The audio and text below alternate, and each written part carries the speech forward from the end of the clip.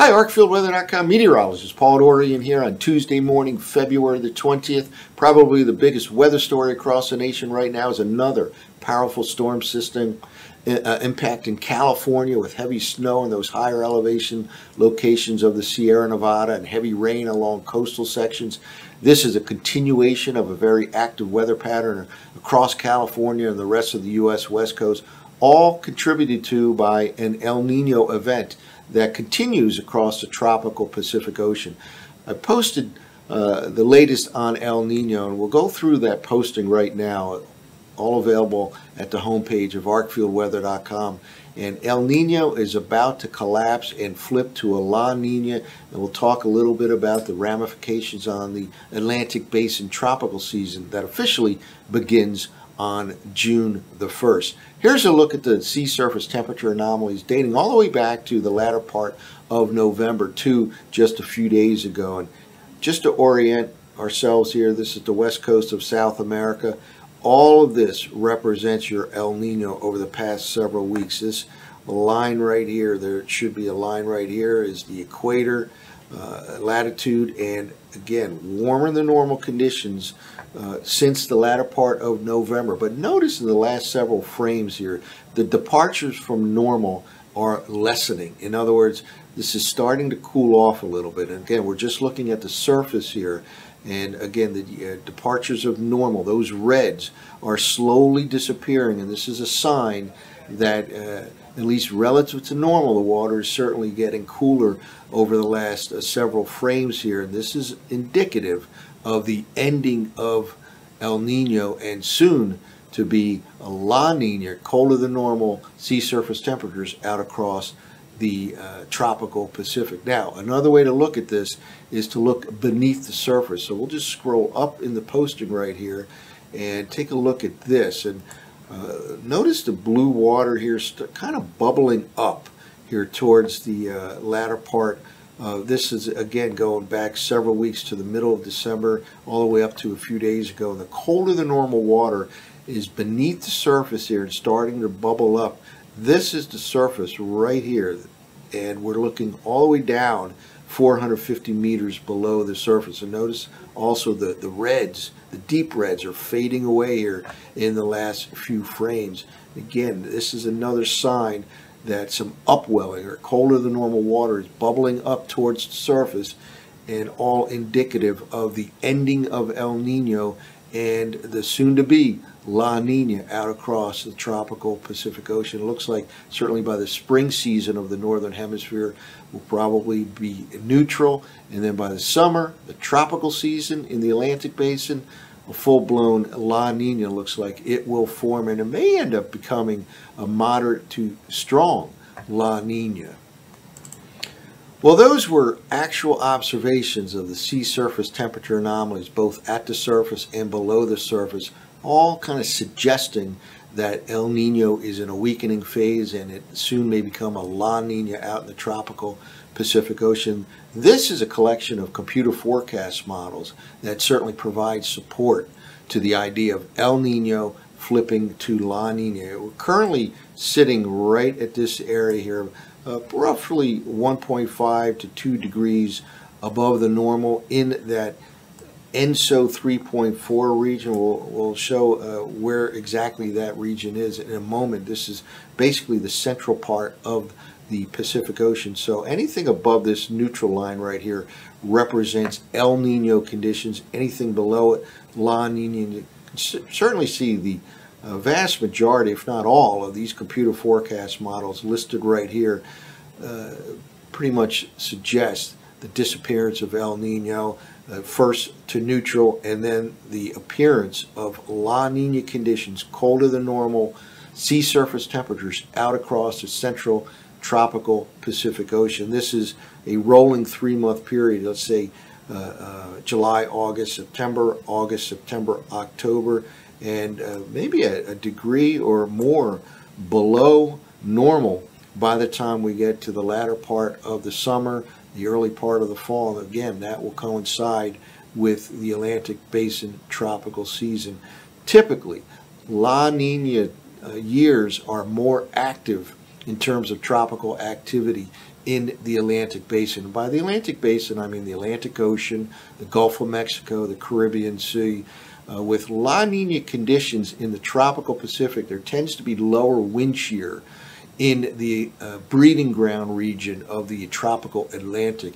That favors development and it favors intensification of tropical storms. So again, uh, the flip from El Nino to La Nina is a favorable factor for tropical uh, storm development and intensification uh, on a on a typical basis, on a climatological basis here. Certainly, the computer forecast models uh, support the idea of a moderate to a strong La Nina by later this summer going into the fall.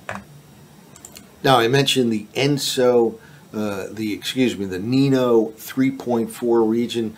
Meteorologists kind of sub uh, divide the El Nino region here. Again, this is all along the equator here into different sections called Nino 4, Nino 3.4, and all the way to the west coast of South America. It's known as Nino 1 plus 2, just kind of a, to make it a little simpler to uh, refer to these particular areas of the tropical Pacific.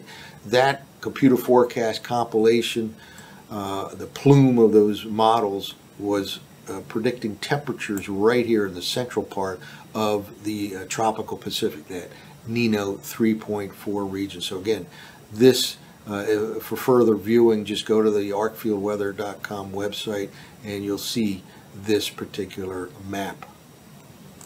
Now another, another thing I want to point out here is uh, displayed here with what we call the multivariate ENSO index.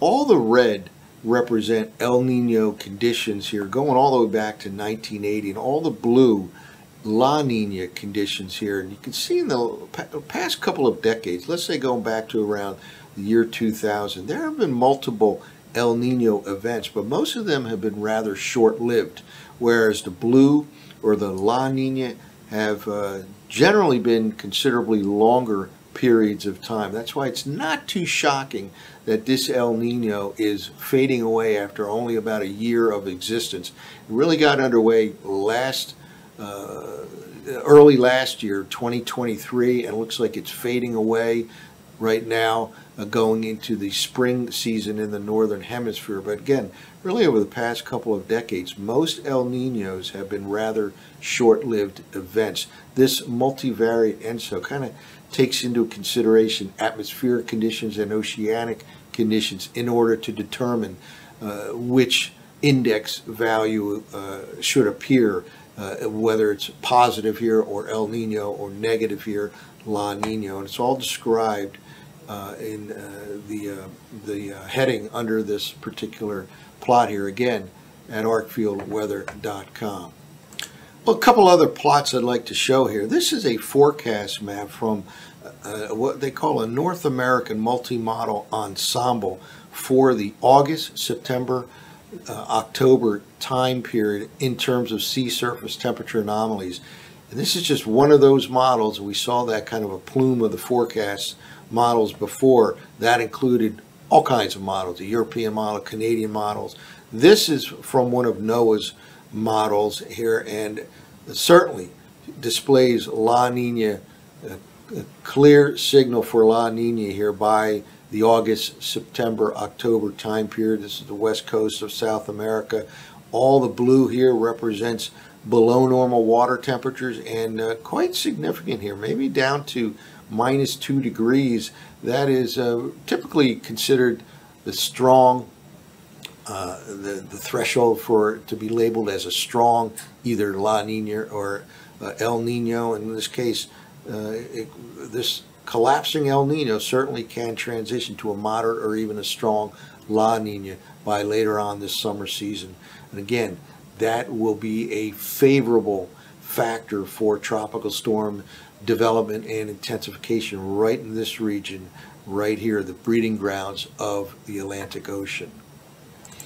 Well, one last uh, map I'd like to show. This is another favorable sign for a lot of activity this summer and fall in the Atlantic Basin. Uh, uh, uh, again, the Atlantic Basin, including the Gulf of Mexico, Caribbean Sea, and the tropical Atlantic Ocean. The current sea surface temperatures are uh, well above normal throughout the Atlantic, the tropical Atlantic, and there's no reason to believe that this will change. So this is another favorable factor for tropical storm development and intensification this summer and fall. What we're looking at here is west coast of Africa right here, the tropical Atlantic Ocean right here, Caribbean Sea uh, right in this region, and all of this area is currently featuring warmer than normal conditions shown here by these oranges and reds. And uh, again, there's no reason to believe that this will change. Computer forecast models tend to support the idea of a continuation of the warmer than normal sea surface temperatures in the uh, Atlantic Ocean this summer and even into the fall.